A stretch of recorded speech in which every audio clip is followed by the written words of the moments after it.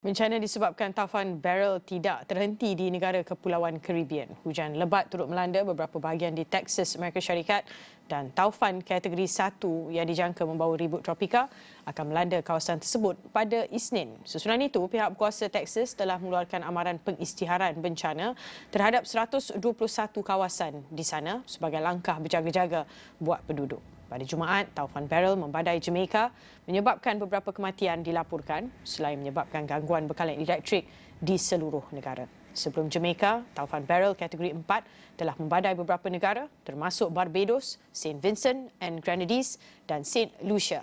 Pada Jumaat, Pusat Taufan Kebangsaan NHC yang berpangkalan di Florida juga meletakkan Mexico dalam keadaan berjaga-jaga selepas taufan Beryl kategori 3 dijangka melanda negara tersebut.